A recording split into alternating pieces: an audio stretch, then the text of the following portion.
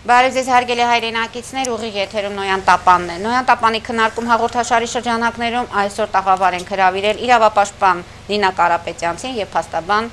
Արա Ղարագյուզյանին։ Բարև ձեզ հարգելի հյուրեր։ Ուրախ եմ, որ ազատության մեջ եք, ուրախ եմ, որ մեր տաղավարում եք։ Տիկի Կարապետյանց, երեք ամբողջ համացանցը կարծես թե ձեր այդ վարչական ձերբակալությունից հետո խառնվեց իրար, ովքեր ձեզ ճանաչում էին եւ դեմքով եւ գիտեին եւ ընդհանրապես Ինչպես ստացվեց, որ այս անգամ արդեն իրավապաշտպանը եւ փաստաբանը հայտնվեցին ոստիկանության մեքենայում, ոստիկանության բաժանմունքում եւ ովքեր եկան ձեր ետևից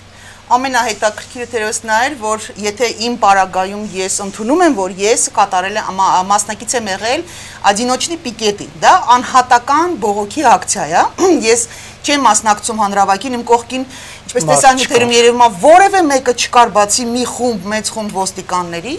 Ղարագյուզյանի դեպքում դա абսուրդի գագաթնակետն էր։ Պարոն Ղարագյուզյանը առհասարակ այնտեղ ոչ մի պլակատ բռնած չկար,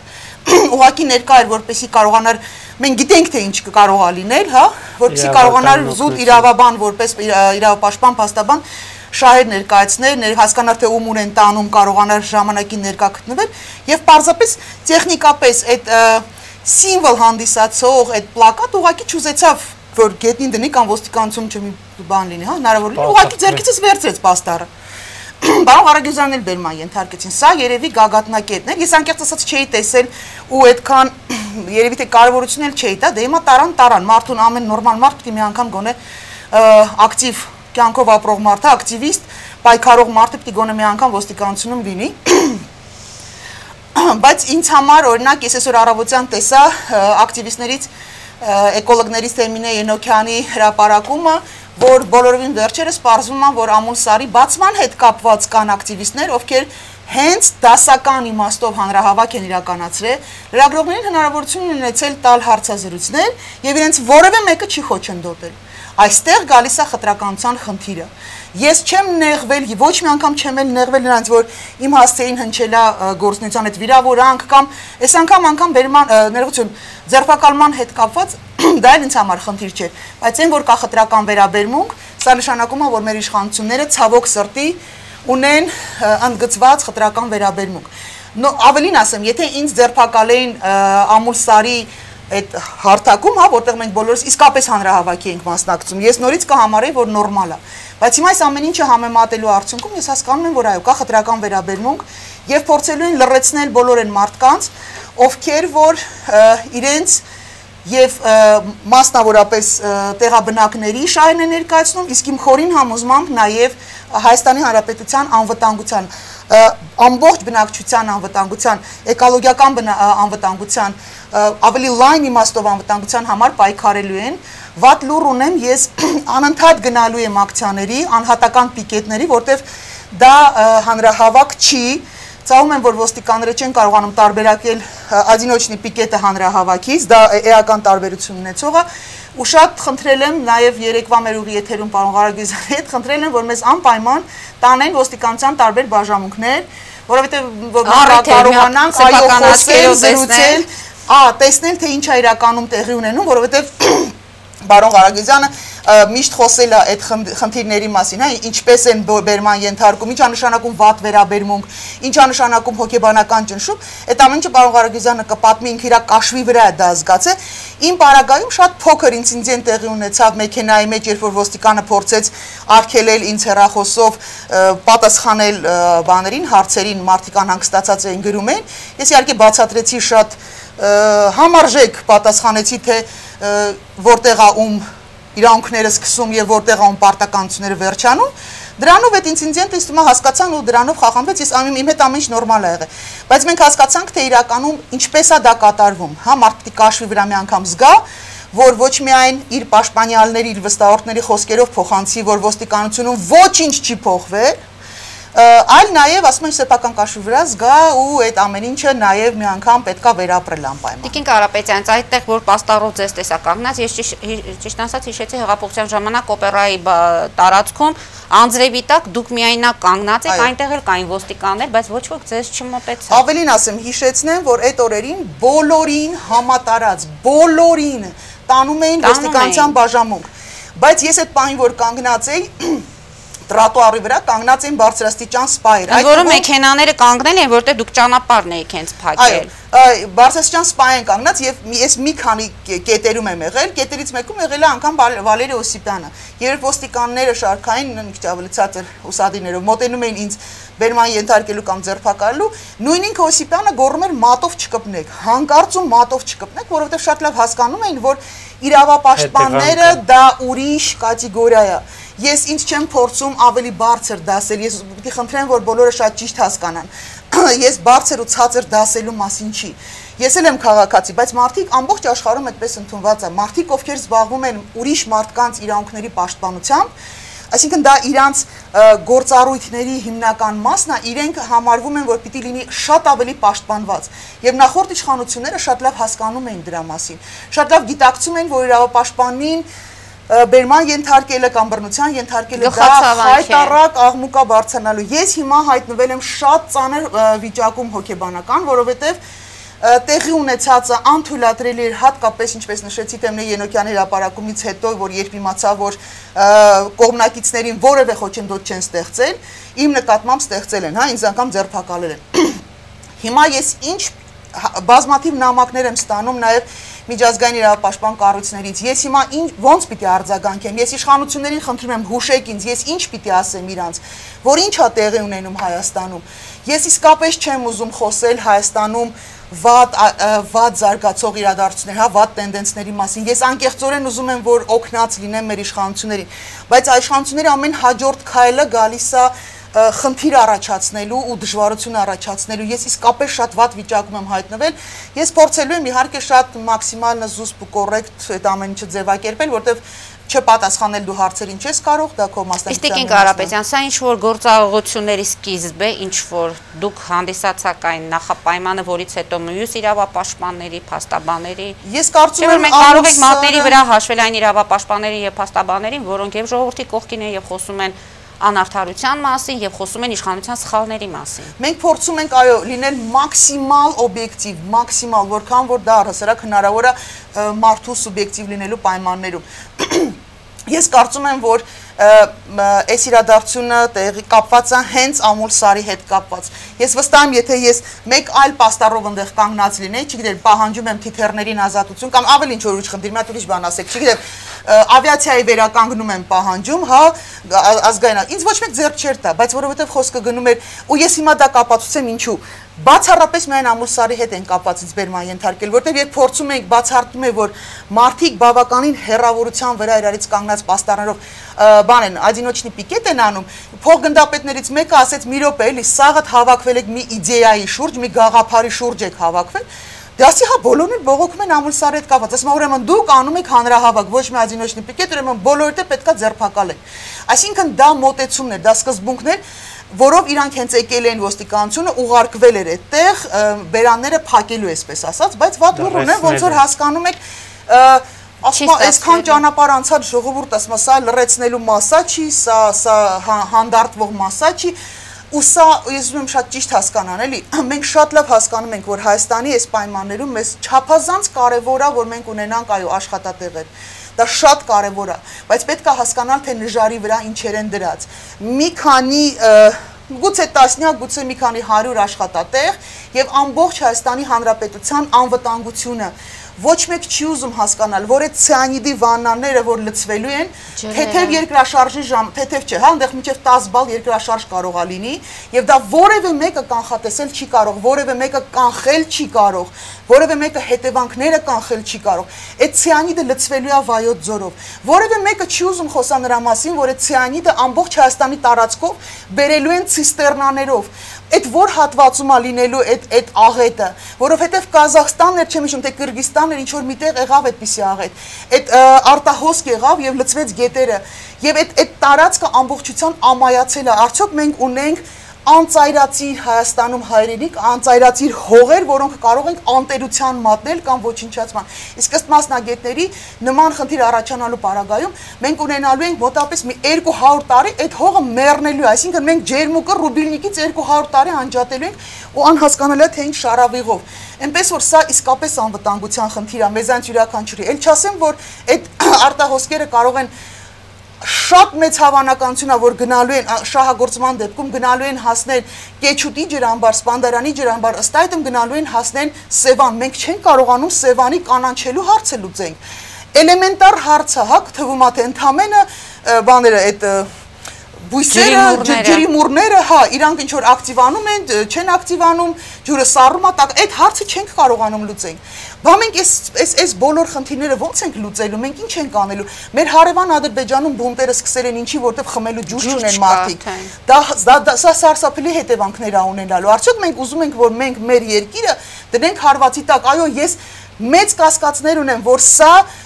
շատ հնարավոր է, որ Մարդիկ ովքեր սա երեթե առաջի անգամ եմ ասում եթերից, բայց արդեն հասկանում եմ, որ ստիպված եմ լինում ասելու։ Մարդիկ ովքեր հարևան պետություններ, որոնք որ մեղմ ասած բարյացակամ չեն տրամադրված Հայաստանի նկատմամբ եւ ակնհայտ ուզում են Հայաստանի ոչնչացումը, միլիարդավոր դոլարներ են ծախսում զենք զինամթերք առնելու։ Ինչն է իրանց խանգարում այդ օֆշորնի կամպանիաներով ես կոնկրետ հիմա Լիդիանին մեղադրանք չեմ առաջադրում ես ուղակի որպես գաղափար եմ բանանում ինչն է խանգարում. Ներդնել գումար տարբեր կազմակերպ, այդ թվում նաև այս կազմակերպության մեջ, որտեղ հարվածի տակ հենց Սևանն է լինելու գումարներ ներդնել, փոխանակ ասում է թրջող սարքեր առնեն, որ մեր զինվորները քարով խփում գցում են, 30 միլիոն կորցնում են։ Է ասում ինչա խանգարում, 2-3 միլիոն կբերեն այդտեղ կդնեն, հետո շատ պատահական, շատ պատահական կլինի ավարը ինչ ենք անելու ժողովուրդ, այդ ով է կանգնացնելու, այդ էս կառավարությունը գնալու է ասում է պարկի ասֆալտին ու այդ ցիանիդի վանաների արտահոսքը կանգնացնի, ո՞նց եք կանգնացնելու։ Լիբանանի դեպքերն էլ ինչ որտեղ արդեն կարող։ Այո, այո, որևէ մեկ տեսեք թե սահմանին մենք մենք Նախճեվանի սահմանին ինչքան մոտիկ ենք, ինչա խանգարում, ասում եմ, մի հատ պատահական սխալ մապ մի ապուշի մեկը մի բան կրակի այդ կողությամբ։ Ինչ եք անելու, ո՞նց եք կանգնացնելու։ Երկրի անվտանգությունը միայն աշխատատեղը չի, այո, ես շատ եմ ուզում, որ մարդիկ աշխատանք ունենան ունենալ։ Ես շատ եմ ուզում, որ մարդիկ գումար ունենան նրանց երեխաներին, բայց տեղի են բնակչությունը, ովքեր ուզում են, որ այդ հանքը բացվի, իրենք աշխատեն, իրենք չեն պատկերացնում, թե իրենք ինչքան գումար են ծախսելու իրենց երեխաների հիվանդությունները բուժելու համար։ Աշխատատեղեր հնարավոր է բացել, туриզմը կարող է այնտեղ զարգանալ, գյուղատնտեսությունը, այսինքն Իհարկե կարելի է դա դե- դե- տուրի դե հիմա այս այս կարճ պերիոդն է, երբ որ այս հիմար վիճակն է կորոնավիրուսի հետ կապված ու չենք կարողանում ինչ որ տուրիզմը զարգացնել, բայց այնտեղ իսկապես հրաշք տեղերը ես երևի 20 տարի չի եղել դեպի Ջերմուկ, ես իմ ծնողները այնտեղ մի 10 տարի աշխատել են, բժիշկներ են, գործուղված են աշխատելու, ես այնտեղ եղել եմ 10 տարի շարունակ ու մոտ 20 տարի երևի չի եղել այս վերջի ես վերադարձա ու ուղակի գիտեք այն որ ասում եմ մի ոնց որ ասում էր Վիլամ Սարոյանը երկնքից պոկված դրախտի կտոր էր, որը ընկել էր ընկելա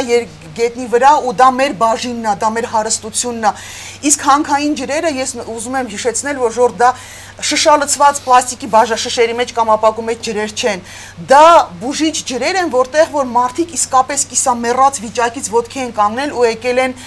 ու գնացել են տուն առողջացած ամբողջ սովետական միությունից գալիս էին մարդիկ ես ես փոքր էի ես շատ լավ հիշում եմ այդ տարիները. Ինչպես էին մարդիկ ծանր հիվանդված վիճակում գալիս ու ինչպես էին առողջացած ու երջանիկ վերադառնում ասում այդ 24 օր բանը պուծով կեքով գալի լավանում հետ էին գնում մարդիկ տարիներ շարունակ գալիս էին այնտեղ բուժվելու ոնց կարելի է քո հարստությունը ապականես ավիրես հանուն անհասկանալի է թե ինչի նորից եմ ասում սա իշխանության դեմ ուղված որևէ գործողություն չի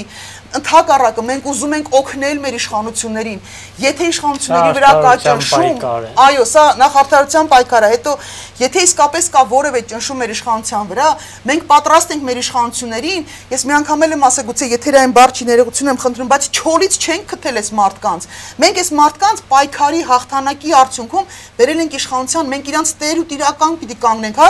մենք պիտի իրանց թև ու թիկունք կանգնենք, մենք պատրաստ ենք թև ու թիկունք քննելու, բայց ոչ էս արհամարական վիճակում մի ամբողջ ազգային ժողով, մի ամբողջ բացառությամբ, եթե չեմ սխալվում, մեկ մի քանի հոգի, հա, Սոֆյան էր Հովսեփյան գործող նամակներ գրություններ ուղարկել, Գանեն էր Աբրահամյան հիվանդ լինելով ծանր անկողնում պարկած արձագանքել էր եւ Սոնա Ղազարյանը շատ կարճ բռնությունների հետ լավ ոչինչ թո կարճ լինի ջանդան, բայց ինչ որ մի հատ վերաբերմունք արտահայտեք։ Մի ամբողջ parlamentin քայլականների նստած Ռուբիլնիկից անջատածը, սենց ոնց կլինի, բա մենք բա մենք ձեզ դրա համար ենք շուրջ ուղարկել այնտեղ։ Կներեք Ջղանացած ենք, բայց ասма ուրիշ ձև արդեն չի լինում։ Տիկին Կարապետյանց եւ վերջին հարցը, ինչ կլինի, եթե ամուսարը բացվի։ Ամուլսարը չի բացվելու։ Ամուլսարը Եթե չի լինի նման բացվելու։ որոշում։ Չի կարող նման որոշում լինել։ Նման որոշումը ի կատարածելու համար պիտի բերեն տանկերով քշեն ժողովրդի վրա։ Պիտի անեն այն ինչ որ անում են ջր- ջրցամփ են ջրցամել եղավ, չի օգնելու։ Ես ես հավատացնում եմ։ Ես վերջին այս որ բան ամուլսարի շրջակայքում է, այնտեղ սարսափելի ցուրտ է, սարսափելի դա բաց տարածք է, սարերի արանքով, ձորի բերանով, տենց անցնող տարածք է։ Մարդիկ իրանց փոքր երեխեքով քանի օր շարունակ նստած են այնտեղ։ Ես ինքս էլ եմ գնացել, բայց ես պատրաստ եմ գնալ, նստել այնտեղ այդ հատակին էլ նստել, օրերով նստել, դու տուն չվերադառնալ։ Միակ տարբերակը լինելու է բիրտ ուժով, բռնության ենթարկելով, հին մեթոդներով մարդկանց ուղակի ծեծե- ծեծելով, ջարդելով ընդեղից ցրել։ Արդյոք իշխանությունը հենց այդ նպատակով է հայտնվել բանում իշխանության, որպեսզի կարողանա այդպիսի գործողություններ անի։ Ես վստահ եմ, որ այսօր ազգային ժողովում եւ կառավարություն նստած մարդկանց մեծ մասը շատ լավ հասկանում է մենք ինչ ենք ասում։ Անկամ համակիր ա մեզ։ Ես չեմ հասկանում ինչու են իրանք լռում, որտեղ սենց տոտալ լռություն կարա լիներ մեկ էլ այն բանի ժամանակ, ՊՊՑ գնդի գրաման ժամանակ, հիշում եք, բոլորի ինձ անջատել էր, ոչ մեկ տեղում չէր ոչ մեկ իշխանություն չկար երկրում։ Ես նայում եմ падգամավորներ կան գնում են ասում դաշտեր ենք բացում, գործարանի տարածքն ենք նայում, ձեր տունը շինվի, եթե կարողանում եք տնից դուրս գաք, այսինքն ձեր վրա այդ կարանտինը չի ազդում, կարողանում եք գնալ ինչ-որ տեղեր նայելու, դատեկեք տեսեք այդ մարդիկ ձեր ձեզ ձայն են տվել։ Այդ այդ մարդկանց շնորհիվա որ դու այդ պաշտոնն ես զբաղացնում, այդ մարդկանց շնորհիվա որ դու ասում պետական այրեր եք դարել կամ չեմ կանանց ոնց են ասում պետական չայրեր Մի խոսքով, դուք այս մարդկանց շնորհիվ եք դարել падգամավորներ։ Ժողովուրդ հարգեք ձեզ ընտրողներին, տենց չի կարելի։ Իսկ նոր նախարարի նշանակումը Վայ այդ նոր նախարարանը չտակել, ասում են, որ ասում է վարչապետի ոնց իմ տեսակետը վարչապետի տեսակետից չի կարող տարբերվել։ Դուք պատկերացնում եք, ոլորտային նախարար մենք նորից վերադառնում ենք այն տխուր ու դժբախտ ժամանակում, երբ որ շեֆը ոնց կասի, տենց կանեն։ Այտենց չի լինում։ Վարչապետի տեսակետը ցանկացած ոլորտային խնդրի վերաբերյալ պիտի հիմնված լինի բացառապես ոլորտային մասնագետների, նախարարությունների, գիտահետազոտական ինստիտուտների, հա, առանձին մասնագետ էքսպերտների կարծիքների վրա դուք պիտի հավաքվեք որպես ոլորտային կառույցներ, քննարկեք այդ խնդիրը, բերեք վարչապետի սեղանին դնեք, ասեք վարչապետ ջան, այս դժվար է, այս խնդիրը, այս խնդրեմա, այս խնդրեմը սենց կարա լուծվի, այս խնդրեմը չի լուծվելու։ Այս հարցի լուծումը սենց է, որ կանգնում են ասում են, ասում են վարչապետը ոնց կասի, տիպը տենց կանենք, այտենց չի լինի։ այդ դեպքում ինչու են Այդ դեպքում ասում եմ, քո իմաստը ո՞րն է, անգեր ջան, ասում եմ, մենք քեզ այդքան փող ենք տալի, որ դու ինչ ան, ասում եկել ես այդ տոնը փչացնես, որ ինչ անես։ Ձեզ հեղափոխության արդյունքում բերել են իշխանության։ Դուք պիտի հեղափոխական լինեք։ Ես ուղակի սպանվում եմ, երբ որ ինձ ասում են, ես ամուսար հետ կապված չի, բայց շատ կարճ ժամանակով հասցրել եմ մի քանի րոպե նայեմ Հայկ Մարությանի քաղաքապետի ասուլիսը ու ասում էր «Ա, այս օրենքները ինձ թույլ չեն տալի, տվեք ինձ օրենքներ եւ տեսեք թե ես ինչ եմ անելու։ Ձեր տունը շինվի։ օրենքները։ 2.5 տարի, տվեք այդ մարդկանց այդ օրենքները, նստելիք ինչ եք անում այսքան ժամանակ, ժողովուրդ։ Այս սրան պետքա վերջ դնել այս վիճակին եւ ամուսարը լինելու է այո, համեմատելու է թերևս, որովհետև իսկապես երկուսն էլ անվտանգության խնդիր են։ Լինելու է ամենադժվար լուծելի հարցերից մեկը եւ լուծումը պիտի լինի իշահ ոչ թե մի փոքր խումբ մարդկանց, այլ իշահ Հայաստանի Հանրապետության, իշահ Հայաստանի սուվերենության ու անվտանգության ժողովրդավարության որևէ մեկը այս հարցը չի կարող լուծել իր քմահաճիկով կամ ինչ որ ներսի դրսի ինձ հետաքրքիր չի որտեղի ճնշումների արդյունքում։ Ստեղ որոշողը լինելու է թող դնեն հանրակրվեի, չեն կարողանում այդ հարցը լուծեն, եկեք դնենք հանրակրվեի, ես չգիտեմ, այդ տարածքում դրեք հանրակրվեի, տեսեք դեմ են թե կոմ են այդ մարդիկ։ Եվ ինչպես Անդրեաս Հուկասյանը այնտեղ շատ կարճ ժամանակով ամուսարում մենք ուղղակի չհանդիպեցինք, ես շատ կարճ էլ իր տեսանյութն եմ նայել, այո ինքն էլ է պնդում, որ սա անվտանգության խնդիր է։ Եվ հաջորդ անգամ ինձ ոստիկանություն տանելուց ես խնդրում եմ տարեք մի հատ ուրիշ ոստիկանություն, որ ես այնտեղ էլ նաև բացատրեմ, եւ ոստիկաններն էլ հասկանան, որ իրենց համար սա եւս խնդիր է, եւ սա անվտանգության խնդիր է, եւ խնդիրը կարա ունենա միայն մի լուծում ընդամենը։ Ամուսարը սար պիտի մնա։ Իսկ Տիկին Կարապետյանց ինչ ինչ որոշմամբ եք դուք դուրս եկել ոստիկանությունից։ Ամեն դեպքում այնտեղ արձանագրեցին, որ դուք եղել եք Հա, հա, բանը վարչականի 172-ով, այսինքն ձերբակալված անձի կարգավիճակով հրաշալի էր։ Ես տենց բաներից չեմ նեղվում։ Իհարկե մենք դա բողոքարկելու ենք եւ պարոն Ղարագիզյանն էսա կասի եւ ես պիտի բողոքարկենք, մենք այդպես ենք որոշել, որովհետեւ մենք համարում ենք, որ դա ապօրինի գործողություններ էր, բայց դա այն ասма մանր մունր տեխնիկական հարցերն են, որոնք ստեյցան այս պահին ասма մի հատ հին սովետական մուլտիկ կար է, որ ասма когда дом угрожает крысы, мышам лучше помалки. Вот այսինքն այս մանր մունր հարցերի շուրջ առհասարակ չարժել խոսալ, այդ մենք ընթացքում կանենք դա այդ հարցը չի, բայց նորից եմ ուզում ասել մեր իշխանություններին, մենք ձեր թշնամին չենք հա ու մի բան էլ էլի այն որ ասում կներեք էլ ասում Արաջան կներես ասում սա եթերը ոնց որ ես ծածկեցի բայց պիտի ասեմ որ ասում բա Սերժի վախ դուրեիք հայ ձեր տունը շինվի դուք այնքան բեխաբար եք կես ձեր կյանքով մեկ ապրել որ դաժե չգիտեք թե Սերժի վախ մենք որտեղ ենք դուք դաժե վախենում եք հոդվածներ կարդալ դուք դաժե վախենում եք փողոց դուրս գալ գալ տեսնեք թե փողոցում ով ա կռվել նենց որ ասում գոնե դուք մի խոսացեք սթրվեք տեղները դիմացեք ասում ես կողմ եմ այլ այլախոհության, այլակարծությանը շատ մեծ հարգանքով եմ վերաբերվում, բայց մի տվեք այդ հարցեն մարդկանց, ում այդ հարցը ուղելով դուք ցույց եք տալի, որ դուք անտեղյակ եք, դուք կյանքից կտրված եք, դուք Հայաստանի հետ կապ չեք ունեցել, դուք այստեղի պայքարի հետ ոչ մի առնչություն չեք ունեցել ու մեկ էլ բանի հա ասма բոլորի ծախված լինելու հետ կապված կամ բոլորի ինչ որ մեկի ուղղորդված լինի եթե կամ մեկ ով կարա գասի որ ինձ կամ պարոն Ղարագյուզյանին մի կոպեկ փող են տվել կամ ինչ որ մեկը ուղղորդել է կամ մեզ կարան ուղղորդեն ինչ որ մի ձևի շահագրգռեն մենք ինչ որ բան են բացի պետության մարդու իրավունքից, շահից, անվտանգությունից, սուվերենություն, ժողովրդավարությունից, թող կան ապացուցեն, ես խոսք եմ տալի, եմ ծնկաչոք Լենինի հրապարակում ներողություն կխնդրեմ բոլորից ու կասեմ, որ ես ստոր ու սրիկա եմ։ Իսկ միջև այդ պահը նման հայտարարություններ անողները ստոր ու սրիկա են։ Ու էլի բարկա, բայց եթերա ինչի չեմ կարող ասեմ։ Արա փաստորեն մենք քանի տարի շարունակ երևի այն առաջի փաստաբաններից եք, ովքեր խոսել են ոստիկանության գործողությունների մասին, ապուրինի, բիրդ, Հիմա փաստորեն դուք դարձաք այդ իրադարձությունների կենտրոնում, ինչպես Նինան է ասում, ձեր սեփական մաշկի վրա զգացիք Այո, բան ես այնտեղ ես հավաքի մասնակից չէի, ոչ էլ ակցիայի անում, այնտեղ իրավաբանական օգնություն ցուցաբերելու նպատակով էի գնացել, որովհետև տեսնելով ամուլսարում մի քանի օր առաջ ինչ էր կատարվում, ինչպես էին ակտիվիստների նկատմամբ արդեն տեսանք ակտիվիստ անի թևերի վրա կապտուկներ, ես պարզապես ես չէի կարող բան նստել եւ դիտել թե ինչ է տեղի ունենում, այդ իսկ պատճառով գնացել էի Երբ որ Տիգին Կարապետյանցին բերման ենթարկեցին այդ կարևոր պաստառը գետնին չընկնելու համար, ես իմ ձերքին վերցրեցի եւ ոստիկանները եկան որևէ իրավական հիմք չներկայացնելու իրենց պաշտոնը կոչումը նույնպես ինձ բերման ենթարկեցին Սա պարզապես ոստիկանության հեշտական իրենց գործելավոճներ իմ համար զարմանալի չէ, որովհետև մենք երկու տարի առաջ սրանք Սերժ Սարգսյանի իշխանության կադրերն են, որը այդպես էլ այս երկու տարիների ընթացքում թեպետ արտարատարության նախարարությունը բարեկ ծառայություն է ստեղծում, ոստիկանական համակարգը փորձում է բարոփոխել, որը դա մենք որպես իրավապաշտպան շատ դրական ենք գնահատում, սակայն ցավոք սրտի քանի դեռ ոստիկանական այդ համակարգը բոլորը չեն փոխվել, որևէ դրական արձագանք չեն կարող ստանալ։ Նախ եւ առաջ ոստիկանների իրավակի դակության մագարտակի հետ կապված, երբ որ ինձ բերման տարբեր ժամանակ մեքենայում ասում է պետք է հեռախոսը չմիացնես, ասում եմ որ օրենքով փաստաբանը պետք է տեղեկատվություն չստանա։ Իրանք այդպես էլ այդ օրենքը չգիտեին, որովհետեւ այդպեսի օրենք չկա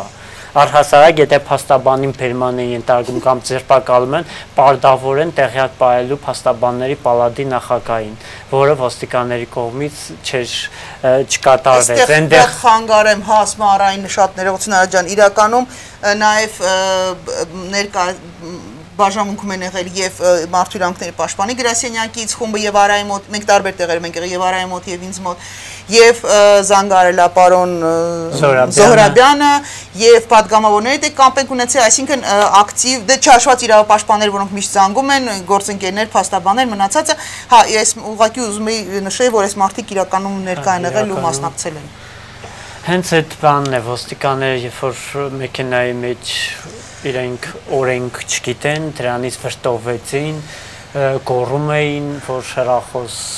անջատի, թե չէ հեսա կանգնեցնենք վատ կլինի, հետո տարան Մալայցիայի ոստիկանության բաժին նույնը այնտեղ կրկնվեց, երբ որ հերախոսով թույլ չէին տալիս տեղեկատվություն ստանալու, նույն ես այդ ոստիկանի նկարը հրապարակել եմ անընդհատ գոռում էր, իրեն ոստիկանի նման չէր պահում, նույնիսկ մարդ իրավունքների պաշտպանի ներկայացուցիչներն էին այնտեղ, երբ որ ասացին իմ դեմքը շատ լավ հիշի, ասացի իմն էլ հիշի, որ ես կամ քեզ այցելության քրեակատարողական հիմնարկ դիտարկեմ քո պայման պայմանները, որովհետև նման ոստիկաններ առնվազն իրավունք չունեն այս համակարգում լինելու առհասարակ այս հեղափոխությունից հետո եւ ընդհանուր առմամբ մենք անիմաստ այնտեղ 2 ժամից ավելի մնացել ենք, որովհետեւ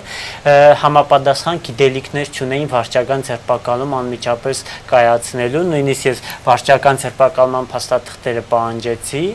ծանոթանալու, որ իմ դիրքորոշումը ներկայացնելու, դա էլ չթույլատրեցին։ Առհասարակ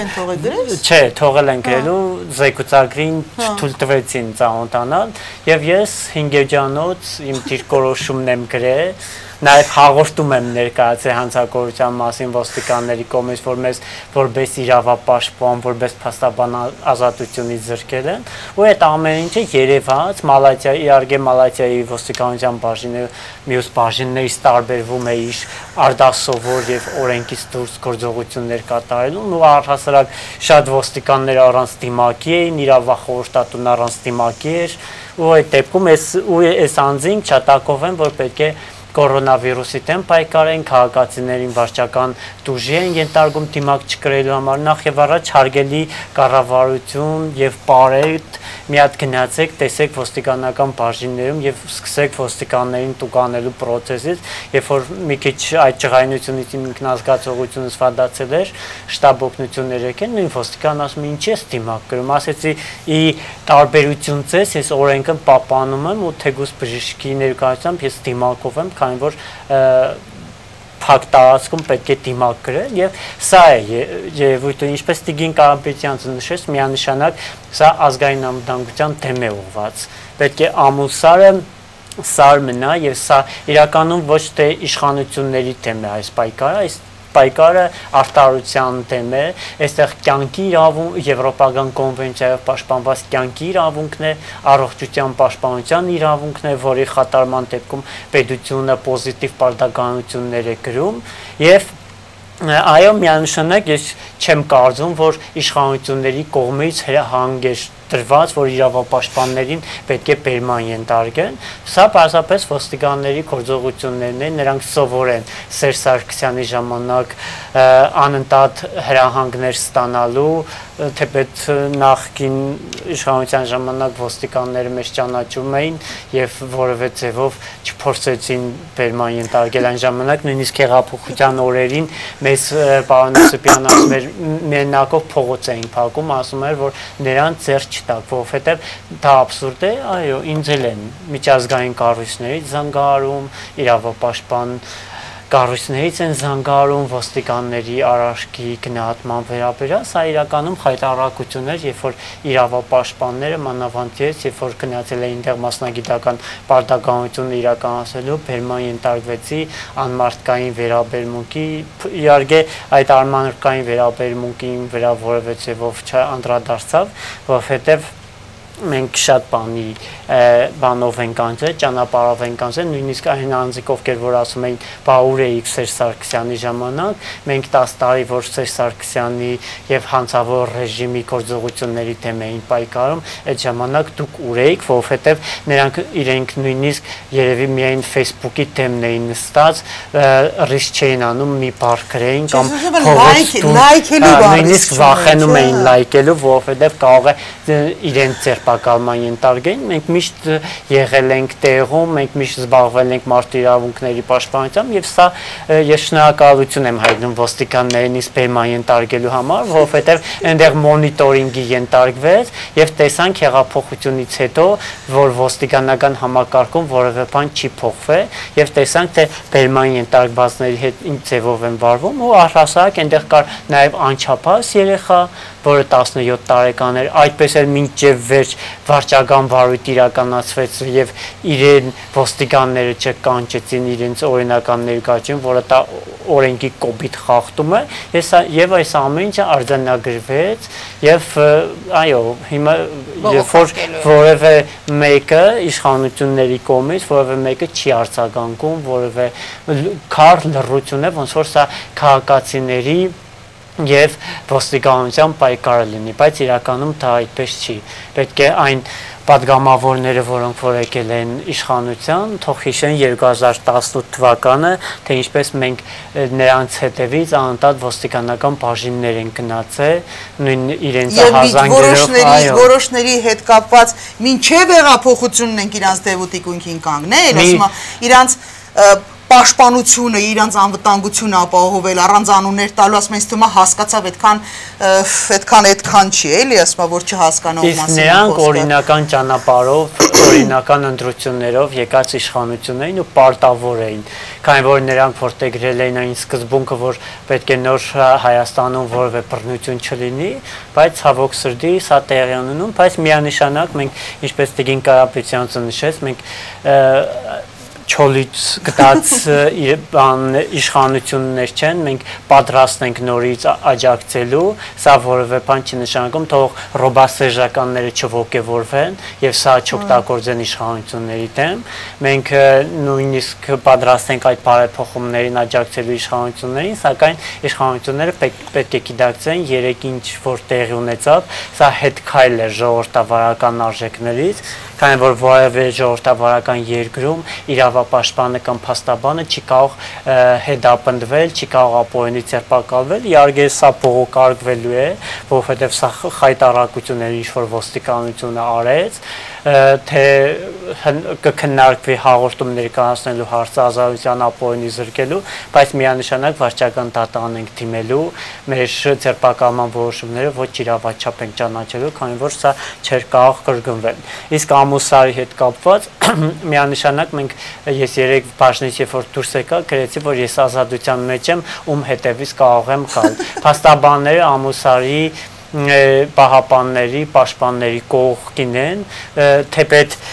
նաև սա է ասեմ, որ նախկին իշխանությունների ներկայացուցիչներ Մայլյան կամ մնացածները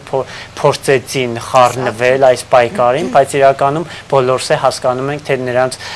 ուղղվածությունը ինչին է տանում, սակայն պետք է հասարակությունը տարանջածին նման անձանցից, սա իրականում արտարության պայքար է եւ իշխանությունները հույսով են, որ իսկապես կհասկանան, սա ոնց որ պարոն Փաշինյանն էր ասում, իշխանությունը պատկանում է ժողովրդին։ Իսկ ժողովուրդը արդեն որոշել է, որ ամուսարը պետք է սարմենա եւ մինչեւ վերջ իշխանությունները պետք է գնահատական տան այս քայլերին եւ և անձանց կյանքի իրավունքը պետք է ժողովրդավարական պետությունում չոտնահարվի եւ մենք շարունակելու ենք ոնց ասում եմ մեր իրավապաշտպան գործունեությունը շարունակելու են բերման ենթարկվածների հետևից գնալ շարունակելու են ցույցերի վայր գնալ որ չթույլ տան ոստիկաններին խաղաղավակի մասնագետներին բռնության ենթարկե իսկ եթե կփորձեն բաժին տալ խնդրում եմ այս անգամ այլ բաժին տարեք որ մոնիտորինգը լավ ստացվի Եվ ասма եւ վերջին երևի թե հարցը, հա, ես ես ճիշտ ասած չեմ հասցրել նայել, բայց ինձ նենց հետաքրքիր է, օրինակ Տիկին Նայրա Զորաբյանը ասել, այս ինչ է կանում, են իրա բարձր դերասանական ոճով, թե մենակ պիտի կաֆեները բանել էր, օպերայի սրճարանները պիտի իրանց աղբերությանը պիտի ասման նեղություն տված են, որ ասել մարդու իրավունք է խախտվում։ Բասմա հանձնաժողովի նախագահ, ճիշտ ասած չեմ հասցրել նայեմ, բայց ավելի քան վստահ եմ, որ չկա, որտեղ եթե լիներ իրանք շատ արագ սկսում են տենց ռեկլամայի բանի մեջ տարածել։ Տասմա Ժորժան, ամեն ինչ նորմալ է լինելու։ Մենք մենք շատ երկար ենք պայքարել մեր պետության կայացման համար, մենք շատ երկար ենք պայքարել մեր պետության սուվերենության, ժողովրդավարության, անվտանգության այդ բոլոր էլեմենտների կայացման համար։ Ես շատ ցավում եմ, որ մենք 2.5 տարին ուղակի ռեալ փոփոխություն չարեցինք, մենք չարեցինք ամենա ամենակարևոր բաները մենք չարեցինք, նորից պիտի ասեմ, չտվեցին գնահատական, չարեցինք լյուստրացիա, չարեցինք վեցինք դրա արդյունքում, մենք այսօր կանգնել ենք ջարդած տաշտակի առաջ ու մենք չենք կարողանում հին ու չեն լուծվելու հին օրենքներով ոչ հեղափոխական մոտեցումներով հարցերը հին այս կուտակված 30 տարվա հարցերը չեն լուծվելու ժողովուրդ դուք պիտի հասկանաք որ դուք հեղափոխական եք որ մենք բոլորս հեղափոխական ենք խնդիրներն է ունեն հեղափոխական լուծումներ եթե դժվարանում եք մենք էլի պատրաստ ենք ձեզ օգնել մենք էլի սարի նման ամուր սարի նման ձեր մեջքին կանգնած ենք ժողովուրդ ասում հարգելի իշխանություն կառավարություն չգիտեմ ազգային ժողով ամուր սարի պես ձեր մեջքին կանգնած ենք դուխով եղեք, այսօ այս հարցերը պիտի լուծվի, եթե դուք չեք կարողանում լուծեք, եթե դուք թողելու եք այս հարցը, որ տեսնեք թե ով է հաղթում, հաղթում է Լիդիանը, թե կանոնն էլ կապ չունի, Լիդիան չլինի, ասենք, չգիտեմ, Պողոսը լինի Պողոսներն են հա, ասում Պողոս կազմակերպությունն է այդում թե ձեզ Պողոսները անգրագետ հաղթելու են, սա լրիվ ուրիշ հարթություն եք տանելու։ Պետության ֆունկցիան խնդիրները լուծելու մեջ է, պետության ֆունկցիան դրա մեջ չի, որ դուք կանգնեք, սպասեք, տեսնեք թե ով կգրի, կգնաք իրանց կողքը կկանգնեք, այտենց մարդկանց մանուկ ժամանակ լրիվ ուրիշ անուն էին տալիս։ Այն որ սպասում են տեսնեն ով ա ուժեղ գնա իրա կողքը կանգնի։ Դու պիտի քո քո դիրքորոշում ունենաս, քո պոզիցիան ունենաս եւ որպես պետություն քո ֆունկցիան իրականացնես։ Իսկ ամուլ սարը մեկ է սարա մնալու, հանդարտվեք ժողովուրդ, ասում արխային։ Տիկին Կարապետյան, Արաղ Արագյոզյան, եւս մեկ անգամ շնորհակալություն եմ հատվում Նոյան հրավերն ընդունելու համար։ Իրոք ուրախ եմ, որ այս տաղավարում եք եւ ինչպես միշտ Նոյան Տապանը պատրաստ է եւ հաղորդումներ կազմակերպել եւ աջակից լինել հանուն արդարության աշխատանքի։ Հարգելի հայրենակիցներ, հիշեցնեմ, որ տաղավարում հյուրը կալել ենք իրավապաշտպան Նինա Կարապետյանցին եւ հաստաբան Արաղ Արագյոզյանին։ Առողջ եղեք։